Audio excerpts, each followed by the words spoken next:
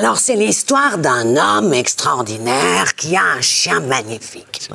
Et il se promène jardin du Luxembourg. Et son chien, vraiment, il sait tout faire. C'est un très beau chien. Et à chaque fois que quelqu'un le croise, en effet, lui dit Mais qu'est-ce qu'il est beau, votre petit chien Il s'appelle Yuki. Yuki. Yuki sait tout faire. Yuki lève la patte, il lève la patte. Yuki lève la patte gauche, il lève la patte gauche. Yuki croise les pattes, il croise les pattes. Yuki tourne comme ça, saute en l'air, le chien fait tout. Et à ce moment-là, il y a un très beau jeune homme qui passe comme ça.